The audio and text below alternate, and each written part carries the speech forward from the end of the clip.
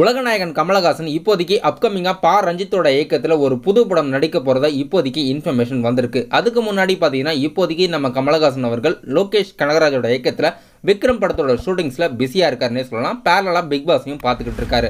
இப்போ இதுக்கான ஷூட்டிங்ஸ் சென்னையில் தான் எடுத்துட்டு இருக்காங்க. அது மட்டும் இல்லாமல் லோகேஷ் கனகராஜோட இயக்கத்தில் அதுக்கு அடுத்ததாக டிசம்பர் மிட்டுக்குள்ளே இதுக்கான ஷூட்டிங்ஸ்க்கெல்லாம் கமலோட போர்ஷன்ஸ் மேக்ஸிமம் கம்ப்ளீட் பண்ண போகிறாங்கன்னு நினைக்கிறேன். வெயிட் பண்ணி பார்க்கலாம். ஏன்னா டிசம்பர் மிட்லேருந்தே பார்த்தீங்கன்னா நம்ம இந்தியன் டூ ஷூட்டிங்ஸ் நம்ம சங்கரோட இயக்கத்தில் நடிக்க போகிறாருன்னு சொல்லலாம். இப்போதைக்கு அவருடைய அப்கமிங்கான ப்ராஜெக்ட்ஸ் லைன் அப்ஸ்னு பார்த்தீங்கன்னா வெற்றிமாறன் மற்றும் பா ரஞ்சித் பா ரஞ்சித் கூட இப்போதைக்கு பேச்சுவார்த்தை போயிட்டு இருக்கு. கமலஹாசனோட அப்கமிங்கான மூவிஸில் ஒன்று பா ரஞ்சித் அவர்கள் பண்ண போறாருன்ற இன்ஃபர்மேஷன் வந்திருக்கு.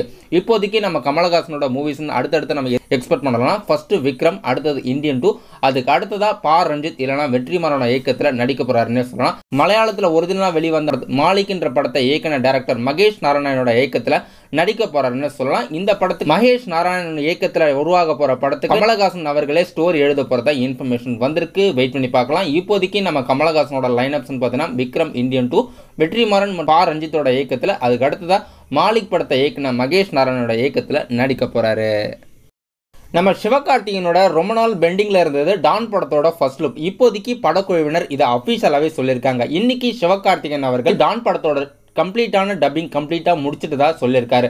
இன்னைக்கு அடமழையிலே பார்த்தீங்கன்னா அதுக்கான டப்பிங் கம்ப்ளீட் பண்ணிருக்கிறதா ஒரு ட்வீட் போட்டு அவர்கள் சிவகார்த்திகன் அவர்கள் தெரிவிச்சிருக்காரு. ட்வீட் போட்டு அடுத்த மூணு மணி நேரத்திலே டான் படத்தோட ஃபர்ஸ்ட் லுக் சிவகார்த்திகன் அவர்கள் தெரிவிச்சிருக்காருன்னு சொல்லலாம். டான் படத்தோட அஃபீஷியல் ஃபர்ஸ்ட் லுக் நாளைக்கு அஞ்சு மணிக்கு ரிலீஸ் பண்ண போகிறதா படக்குழுவினர் அறிவிச்சிருக்காங்க. நம்ம சிவகார்த்திகன் அவர்கள் டான் படத்தில் ஃபுல் அண்ட் ஃபுல் ஒரு காலேஜ் கதாபாத்திரம் பண்ணியிருக்காருன்னே சொல்லலாம்.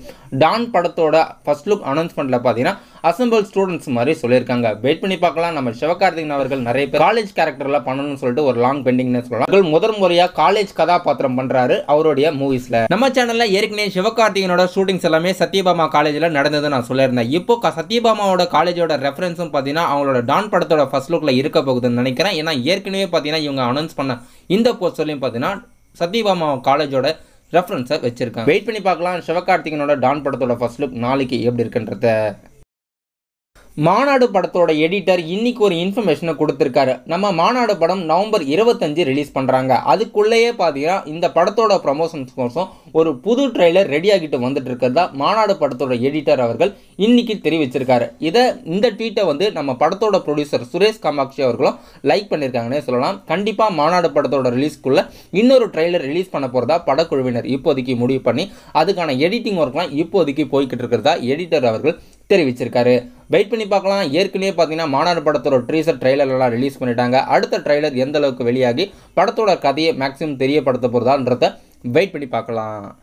அஸ்வினோட என்ன சொல்ல போகிற படத்தோட ட்ரீசர் நாளைக்கு ரிலீஸ் பண்ண போகிறதா நேத்தே சொல்லிட்டாங்க. நவம்பர் டென்த் அன்னைக்கு ரிலீஸ் பண்ண போகிறோன்னு இப்போதைக்கு இந்த படத்தை நாளைக்கு ட்ரீசர் எத்தனை மணிக்கு ரிலீஸ் பண்ண போகிறதா யார் ரிலீஸ் பண்ண போகிறதா அந்த அப்டேட்ஸை இன்னைக்கு கொடுத்துருக்காங்க. நாளைக்கு ஆறு மணிக்கு அஸ்வினோட என்ன சொல்ல போகிற படத்தோட ட்ரீசர் அஃபீஷியலாக கௌதம் வாசுதேவ் மேனன் அவர்கள் ரிலீஸ் பண்ண போகிறதா இன்னைக்கு படக்குழுவினர் அவர்கள் தெரிவிச்சிருக்காங்க.